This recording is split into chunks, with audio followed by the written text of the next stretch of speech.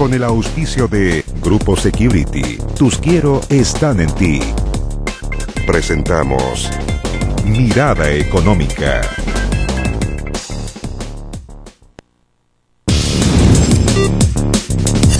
Mirada Económica.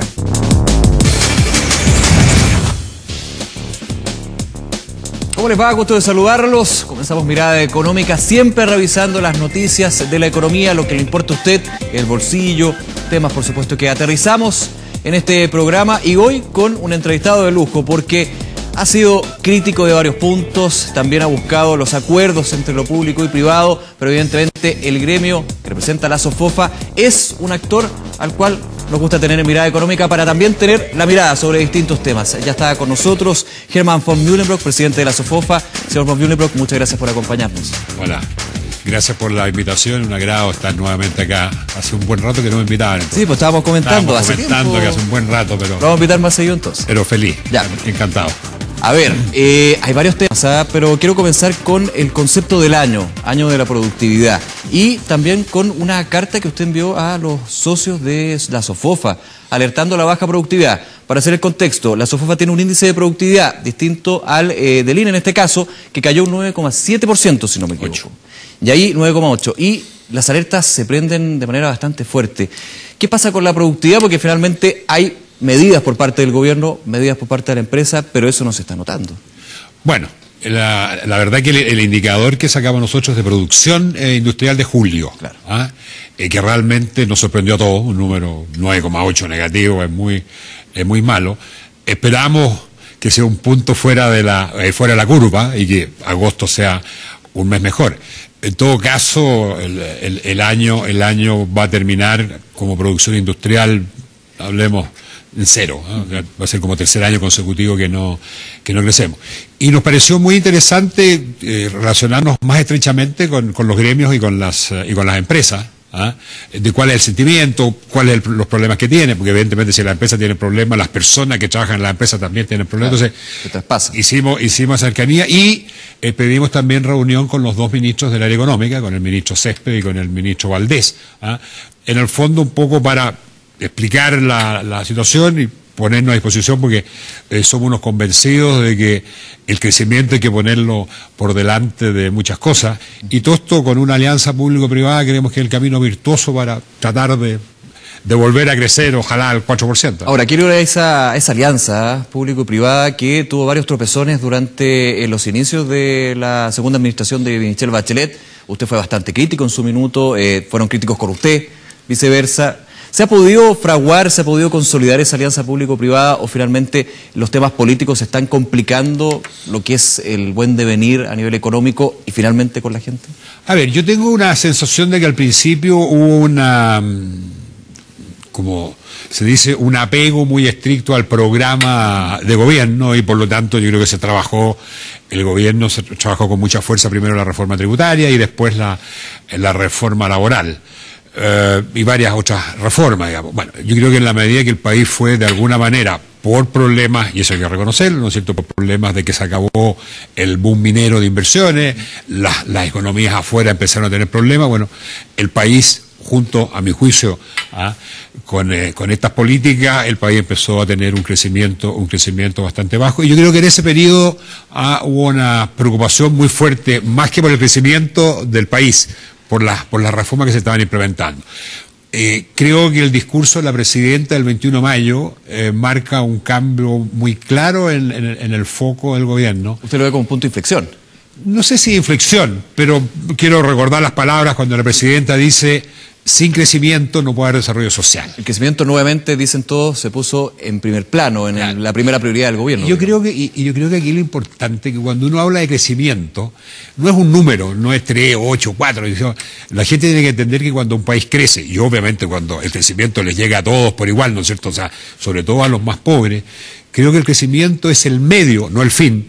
para resolver todas las carencias que tiene este país. Acabamos de ver las encuestas eh, CACEN, ¿no es cierto? Claro, mejoró, pero no podemos tener dos millones de, no tenemos dos millones de pobres. Nosotros estamos eh, muy cerca y muy preocupados del tema de la Araucanía. Acabamos de tener un seminario muy importante en, Sofofa con el ministro del Interior, con varios senadores, eh, con gente del mundo mapuche, y, bueno, y, vimos muchos datos.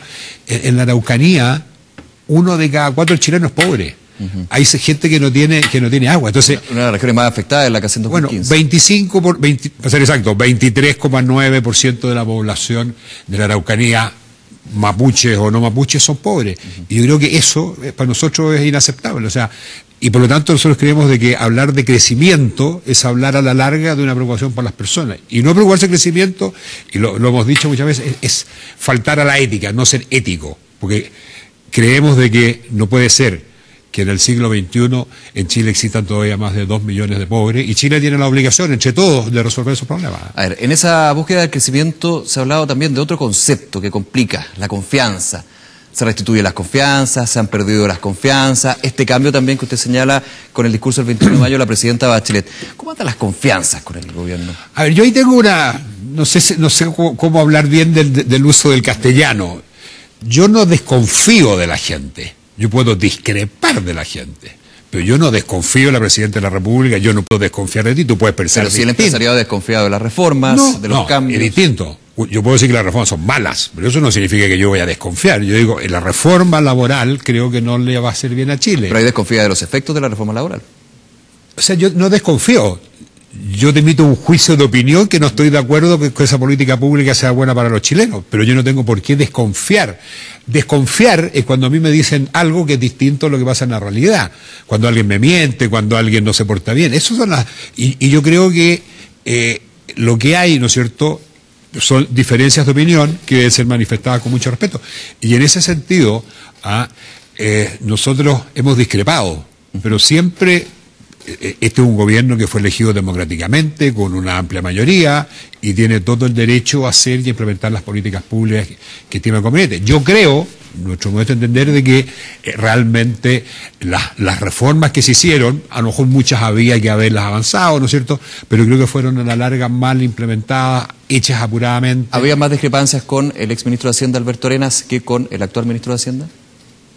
A ver, yo creo que el, ministro eh, Arena eh, entró eh, siendo gran, gran amigo mío porque hablando de cosas entretenidas, los dos somos colocolinos y que teníamos una muy buena relación. Algo que lo unía. Una muy buena, una una muy buena relación de afecto. Y cuando nos juntábamos, era mucho más entretenido hablar de fútbol que hablar de, que, hablar de economía. Evidentemente que él venía con un mandato, ¿no es cierto?, a hacer un programa. Bueno, la economía empezó con algunos trastabillones, bueno, se provocó el cambio. Yo creo que el ministro Valdés, un gran, eh, gran eh, eh, economista también, ¿no es cierto?, hizo los ajustes que había que hacer a esta reforma, a esta reforma tributaria con todos estos procedimientos y normativas que han estado saliendo para tratar de ajustar algo que, como digo, yo creo que tanto la reforma tributaria como la laboral, creo que, mm, sobre todo la reforma laboral, creo que para mi juicio es una reforma antigua, el mundo estamos en el siglo XXI y se está preocupando de los años de los años 70. Creo que el ministro, el ministro Valdés, eh, tiene súper claro lo que, lo que eh, necesita. Yo creo que él ha, hecho esfuerzos importantes por, por tener eh, una legislación más, más, más, más moderna.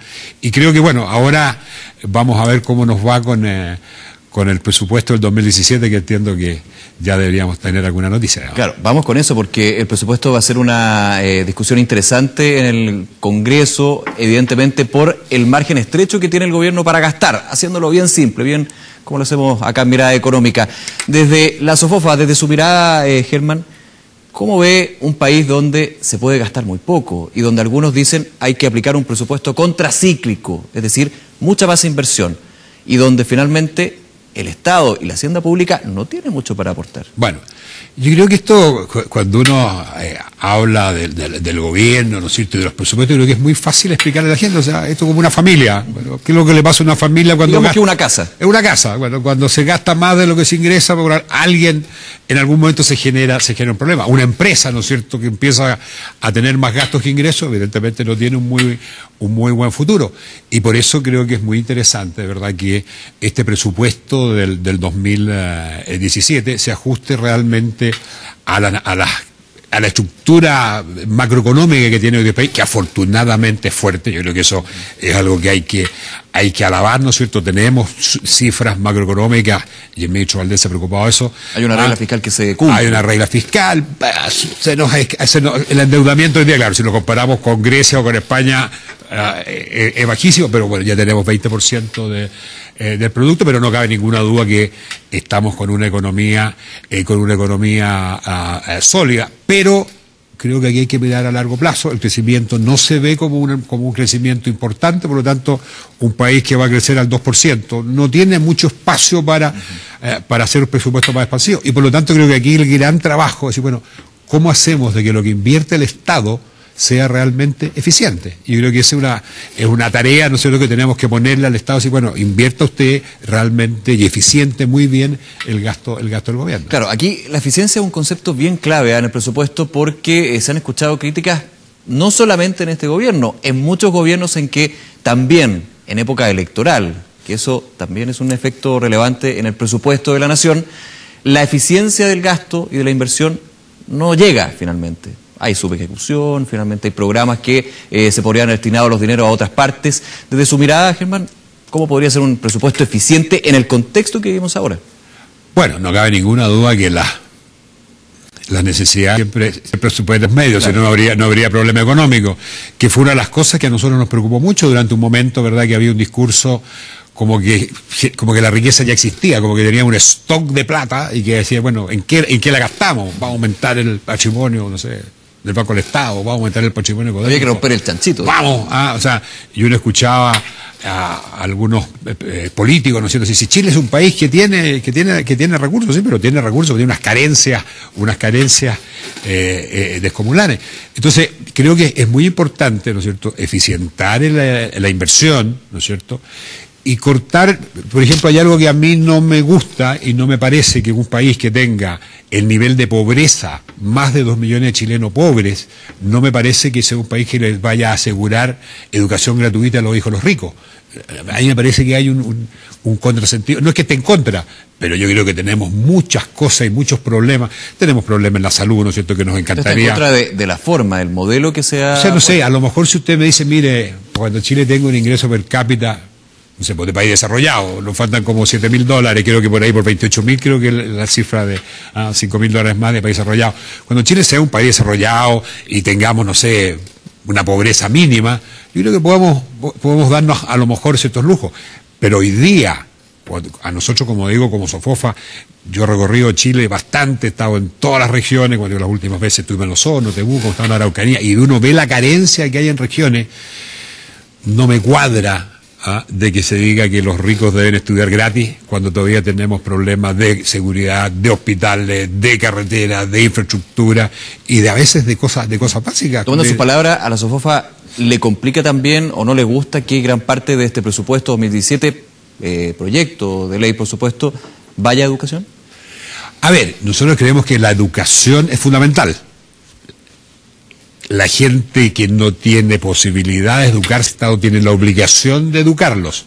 Y por eso que nosotros somos tremendamente partidarios de que todo el que tiene capacidad, igualdad de oportunidades para todos. Abogaron mucho por la capacitación en la reforma laboral. Eh, exactamente, nosotros hicimos 14, hicimos 14 medidas en la propuesta de la reforma laboral, hablamos mucho de educación técnica profesional, hablamos mucho de mejorar el empleo, el empleo juvenil, y no solamente el empleo juvenil y el empleo de la mujer, que son dos carencias enormes que tenemos como para, mejorar nuestra, ah, nuestros niveles eh, eh, de, de pobreza. Incluso decía, si la, educación secundaria es gratis, ¿por qué a nivel jóvenes tenemos tanto desempleo que incluso, como dicen, ni estudian ni trabajan, ¿no es cierto? Los niños, famosos. Los niños. Bueno, es que a lo mejor yo creo que hay que buscar, que a lo mejor habrá que pagarle a los niños para que estudien. Ya no, no es suficiente, ¿no es cierto? Porque a lo mejor el tipo eh, no tiene plata de locomoción, está muy lejos. Entonces yo digo, no, que los ricos, los hijos de los ricos estudien gratis versus darle un bono a una persona con carencias para que termine la secundaria, yo, no, yo personalmente no tengo dónde perder. Entonces, ya no basta a niveles de carencia que la educación sea gratis, sino que a lo mejor hay que colocar otro incentivo, ¿no es cierto? O levantar problemas que tiene esa gente porque no está estudiando. Porque, bueno, si queremos cambiar, lo que tú partías al principio, la productividad, que creo que es el gran talón de Aquiles que tiene la economía chilena, creo que tenemos que avanzar fuertemente en educación. Vamos a hacer eh, una pausa en mirada económica, pero antes vamos a otro tema muy importante, el endeudamiento, y específicamente en el retail